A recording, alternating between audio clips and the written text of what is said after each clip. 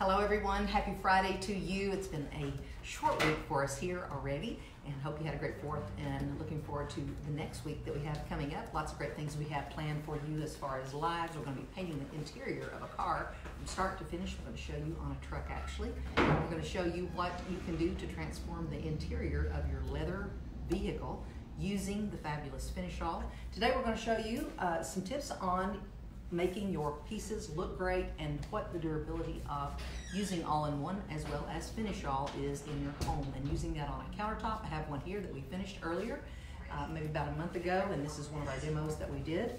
And also we have a cabinet door that has one coat right now of Irish Garden and we have marred the finish. And what we're gonna do is show you how to touch up. And we're also gonna show you how to touch up finish also bear with us if you have had issues and maybe you have a mark on your cabinets or maybe you even uh, want to know this for the future of your uh, project and uh, the wear going forward in your kitchen or on your leather and, and maybe you're using these products. We're going to show you how to maintain and keep that finish looking fabulous through the life of your piece and of your kitchen cabinetry, your bathroom, and whatever you are using the products on. So let's talk about touching up. Generally, when we're talking about touching up, there's been an issue, and that's going to be called the word prep. So if you're having your paint chip away, and maybe you've even painted with other products, and you're going to find the same issues apply to this paint as well as other paint products. If you haven't removed the grease or the surface oils, buildup, and those things from your piece that you're painting, you are going to experience some chipping. And generally, you'll see that around one place, and that is the handles and the hardware. And why is that? Because that's what's on your hands that's when you're cooking, you have grease on your hand, you reach for the salt, the pepper, the garbage can drawer. What's on your hands? Grease, right? And when you clean that and you didn't have the hardware off, you generally don't get around that hardware very good. And that's the first place you'll see chipping, and that's associated simply with grease and oil. So, what you want to do when you have a place that you want to repair, remember why you're having to repair it. It was because there's oils present. So, what I would suggest you doing is using a good scouring pad, using the degreaser on the whole surface, your whole door, let's say. Let's say you had a little place like we do here. Clean that whole surface properly using the sanding deglosser. Use the grit, the um, scrubby here and really get in there and remove and prep this door for the new touch-up paint. Once you have that done, now you are ready. Take a towel and wipe off the liquid, the excess if you're using our product. If you're using others, notice the instructions that ask you to what's called a water rinse, especially if you're using, uh, is it true? Which cutter. Crud cutter. We have noticed that that is leaving a residue, people are having issues with crud cutter because they're not removing it. So crud cutter is leaving a film. So I would suggest either using our sanding deglosser, which is now available, same cost to you, and you can get that right in your order. Use that sanding deglosser Read the directions, make sure it doesn't require a rinse because if it does, you need to do that step. Don't skimp here. Uh, that is one place that I recommend that you follow every one of the directions is that because that's what's going to maintain the finish, right? So now that you have this little mark, let's turn that to the top here. It's not a big mark and you can see this damage on it right here. This is beautiful Irish Garden, which is a soft kind of a green and a blue mixed together. But I'm going to show you next to blue what that is, just so you get an, an idea. This is Antoinette, and it's really a uh, what I want to call a cornflower blue, kind of an aged blue up against beautiful Irish garden. That will give you some tone of what you're looking at here. Okay, so what we want to do is first of all, we want to get these, when you're doing a touch-up, the main thing you need is one little artist brush and your paint. we're going to talk about paint too, and that's keeping your paint on hand, even if it's in a sample jar or some sort of airtight container. You want to always keep paint around. That's an older jar. uh, that's an older jar. You want to keep one around always to touch up, and it needs to be the color that you painted your cabinets with. And if you are mixing together, maybe you have a, a quite large kitchen. If you get in three of these, what I suggest doing so you can touch up your project as you go forward if you use all three cans at three different times and you ordered one from us and one from Amazon and one from your mother, uh, you're going to have three different shades and they may vary in the slightest. But what you need to do is have a gallon jug, mix those three together, stir it up, and then pour it right back into the can into these containers and put the lid on. That way, all three of them will match. That's an old painter's trick, by the way. And that's how they do it, even with wall paints. That's called boxing. It's a term that's very, very uh, well known to painters. And if you're a painter, you know that, wall painters and all, even if you buy the paint in big box stores or you buy it from a hardware store, all of those paints, especially when you're using rich pigmented colors, need to be boxed if you have have the intention of touching up, which we all should think in those terms. Who knows? So what to do to touch up? Get your brush ready. Just get your little artist brush out. And what you want to try to do is, what we're going to first do is we're going to just go in here and we're going to get everything on one tone, right? So that's obviously going to probably dry and show right there. All we're going to do is try to get everybody up to the same color. And then we're going to come back to this in a minute. We're going to lay this to the side and let that dry. Now, we'll come back to that and we're going to do a coat over the entire surface. If I were to just cover this right now with one coat of paint, because that had a light spot here, this would only have one coat on it if I went over the whole door. The rest of the door would have two. So what's going to happen? You're always going to see that. So we're going to get this up to one tone, and that was touching up that little spot. And we'll go back over that in a minute with a true applicator and one more coat of paint. So that's how you touch up. And we're going to do that on uh, finish all right here on galvanized. I'm going to walk around here. And my camera girl is uh, Melissa. okay, there you go. Light's going crazy. Mhm. All right, might need to touch that little guy. Touch that screen so the light balance. There it goes. I don't see it doing it. Touch No. it with your finger, please. Way to do it. There it goes. Okay. Here it goes. Now it'll stop. All right, so galvanized, same thing. Y'all know galvanized, finish off. This is a bycast bar stool, and we did our best to mar this finish, and we just scratched and scratched and scratched. Tried to replicate like a cat scratch. Can you One see it there? There's one coat on this. This is something that's been sitting around here in our showroom for quite some time, and it's two colors still, so you can see it was bycast, and we painted it with galvanized. Same things, same rules apply. Going to do the same thing. Get a brush. You'd clean it first. Yes, you're going to wipe it down with your uh, non-acetone fingernail polish remover to make sure you've removed any grime. We're going over this whole thing, or at least this back area, once we finish.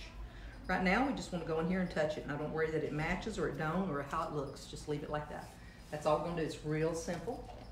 And then in a moment, we'll come back using the True Applicator, and we're going to give all this a light stipple, and that will blend it in. Just blue, beauty blend, as Melissa says. Beauty blend. All right, so the next thing we're going to look at is countertops and the durability of a painted countertop finish. You guys have often asked, is this good uh, enough to hold up on a laminate, on a vinyl, on um, thermofoil, maybe on your kitchen cabinets if you live in a uh, mobile home and you're worried, is it going to hold up? Is it going to last? This is pure Formica. You couldn't get any more of a non-porous surface than Formica that I know of. That is a formed plastic. So there's no, there's no porosity whatsoever to Formica, and you know that. And it's meant to be that way. Do you guys remember this countertop? This is the one from our video where we did Yes. the plastic bag, the plastic This is grocery the bag. plastic bag countertop that we just took off the vanity and brought it in here to show you. We have let water sit on this, and Melissa was demonstrating this earlier. I think she's wiped it off now. Yep. But we had just pulled water and let it sit here. We have a countertop that we've used now well over a year, maybe into the two-year mark. That was the first one that we did using the all-in-one paint products. Uh, this particular countertop was done in maybe three colors. I'm thinking we used what we use here. Stonehenge, cobblestone, and Coliseum, I Yeah, lots in the gray families, but of course we have a video on this one. Uh, we've been cleaning it and we've been using some Clorox wipes just to show you that it is durable. You cannot scratch it. Now, we did top coat this particular one with the white antiquing gel. That was the top coat that we used and we used it simply to tone this out so it didn't look so splotchy and it just gave it enough of a white just to simply mute the colors that we did in the um, just by using the stippling motion here. She's trying to get the light balance so you can see it a little better. But uh, there's no scratching it. We've scratched. We've done everything to it today to try. Uh, she and I both. We See if I can- this. Uh, you cannot do anything to. Paula's got gloves on. I You cannot don't. move this finish at all. Zero. Uh, you can scratch and s- do anything you want to do to it. Now, do you need to put a top coat over this? You can. We're not saying that you don't have to put top coats. You can even add a gloss if you wish. You want it to be glossier. But remember, anytime you add a gloss, you're going to see brush strokes. You're going to see more texture come out. Right now, this has zero texture. There's zero giveaway that this was a painted countertop, other than the fact that It's a spongy texture that it really, really emulates what you see in a natural uh, stone or in a natural uh, countertop. You cannot tell, other than having the bullnose edge and this built-in backsplash. You wouldn't even know this if I just walked in the room to see that this was not a, uh, made this way. So it's all up to you on how much time you want to spend making it look great and adding back the base coat. I find that is the best thing. This we put down Coliseum as the base coat. First of all, cleaned it with a deglosser. That's the key. Get that oil and that grease and that buildup off. Especially concentrating around the sink area uh, where there's glues and there's set, things have settled and cleaners and just everything have gotten around here where you've used it through time and through years. You want to be sure and really work hard and go around that sink. And there's caulking also there. You're going to be painting over some of that caulk. So remember to get the deglosser in there really good and tape off your sink. Use some green or use your uh, painter's tape and go in there and tape off the sink area. Clean well. Put down your base coat. We use Coliseum here and then put on the other colors with the plastic bag. And then the main thing that we did was when we were done, we used the Coliseum base coat back over it again. And what that does is that just softens the whole thing so it doesn't look so splotchy. And then just enough color will come through. And then lastly, we put on the antiquing gel in the white and that gave it a little more softening and blending. So all those things together, this only took us a very, it sounds like a very laborious process. Mm-mm, It truly fast. wasn't. It was pretty quick, pretty Yep. quick. Great transformation, I thought. And, uh, Pour some water on there.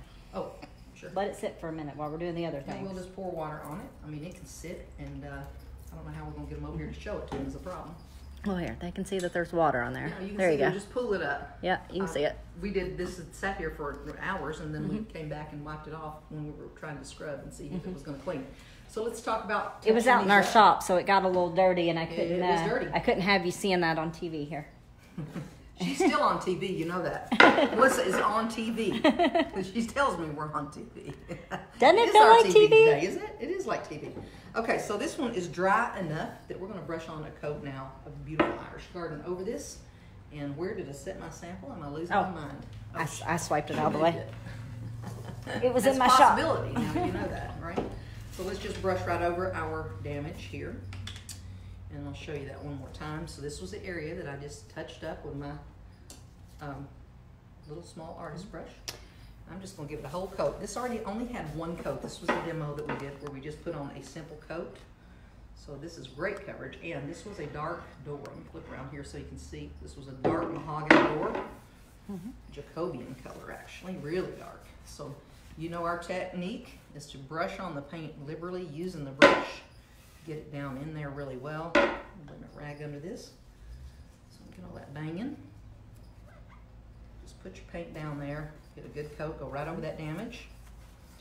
Wasn't totally dry, but close enough. Just get on some paint. You see I got quite a bit of paint on here, right? Not running, but it's not, uh, I'm not dry brushing it either. Now I'm gonna use the True Applicator and I'm gonna go right over that. It's dry, it isn't damp. Just gonna go right over that, right over the damage. And I'm gonna move that paint around and stipple it out. So if you were doing a, ho- if you were doing this one cabinet door that was on your cabinet Uh-huh. set Yep. hanging, would you just do this one door? I would only do the door that was damaged, sure. Uh, Then why would you need to go further? Right. Only places that you have that are peeling or whatever, then that's whatever issue you had. Hopefully you got it all clean except maybe just that one area. Or you could have had a dog hit it or, uh, you know, somebody jump up on it when it, before. Before it was green, Yeah, or- yeah, while yeah. it was green. You might have gotten that to happen at that time. Who knows? Damages will happen over time with anything. Again, if it was damage free, impervious to damage, we'd be painting skyscrapers with it and they'd never have to paint again, right? Wouldn't that be a deal? I don't know of a paint that's that good. There's not even epoxies, car paints, catalyzed paints, electro electromagnetic paints. None of them are forever, believe me. Um, but this one is going to be doggone close for your interior, and it's going to look wonderful when you do it yourself. That's the Can you point where the touch up was? Well, I think it It was was, in this area. There. Can you see it? It Oh, in that now I touched it. Now you can see it. that I can see it. But as that begins to dry and lay down, it's going to dry to a matte sheen. We'll come back to it Mm-hmm. in a minute. And now let's touch up that one. This one actually dried so good. I don't even know that you really need to touch it up, but we'll show gonna it. go Show them again. Mhm. I'll just show them again. So back to the countertops. Dee was asking, Uh-huh. um, she's got man-made marble. Uh-huh. I think she said cultured, not Cultured, cultured. gotcha. Yeah, And the sink's built right in, I bet. yeah, Is that her question? yeah. Can she? Well, she's wanting to know could she paint that? Uh, D, same thing. But now, if your sink is built in, which generally in cultured marble, that's the whole reason people buy cultured marble tops, is the sink's just a one piece.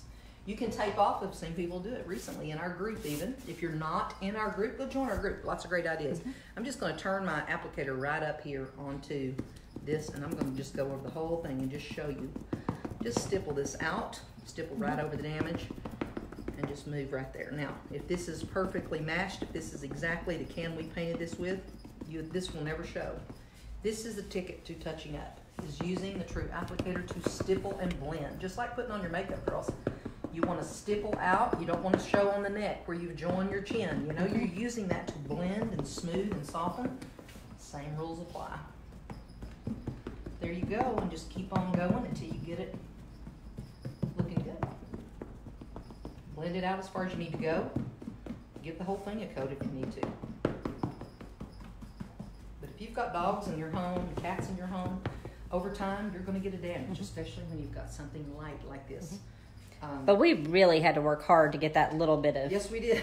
of. Uh, I was mess on impressed because this this material, this vinyl, is not strong on its own. You know, this stuff is terrible. Actually, it's very low quality and delaminates very easily.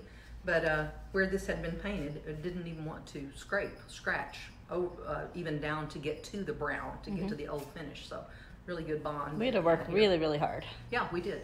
Uh, want to turn You wipe to that water away? Oh, let's wipe, wipe the water away. Let's Now, let me see. Can you guys see the water there? See the little bit of shiny? All right, let's just sop it up here. So just imagine that's water hanging out around your. Uh, Sink and so on. Yeah. There you go. No hurt. Looks great. Can't tell it's even done. No. Can you tell that? nope, looks good. Sadly, I can't flip it up there to show Yeah, you. now I got it. All right. Mm-hmm. We just wanted to touch on those subjects with you and show you some ways to touch up and take care of your new finishes, especially if you're trying to do some projects that you're unsure of and wonder how they are going to last and perform over time. So these are easy upgrades that you can make around your own home. And using the all-in-one paint products along with Finish All gives you a way to transform virtually every finish in your home. Uh, that's what we're all about, and we hope that you will join us in our group. We have an awesome group, and it's called the Official DIY Heirloom Traditions Paint Group, and that is pinned right here in this post. If you'll comment below right here, you can get yourself a free eight ounce sample of the all in one paint simply by coming into that group. And we'll send you a personal message with a hot link that will take you right to that group. The only thing you have to pay is $6.99 shipping, and that's a $24 value for that sample. It will paint 30 to 40 square feet, including your front door or small projects, vanities, uh, good size, a good size project actually. And you Mm-hmm. Coffee get- table. Yep, you can start trying and testing the paint for yourself and see the durability and that it is a no sanding, no wax, and no top coat needed for interior as well as your exterior projects. And then you can learn about Finish All if you want to tackle something maybe that is vinyl or leather. Finish All will also work for any wood or solid surfaces as well as the all-in-one. So we look forward to meeting you there in the group and we encourage you to jump over there and get yourself a free sample. And we will look forward to uh, the weekend with you and we'll look to see you next week. Have a great weekend. Bye.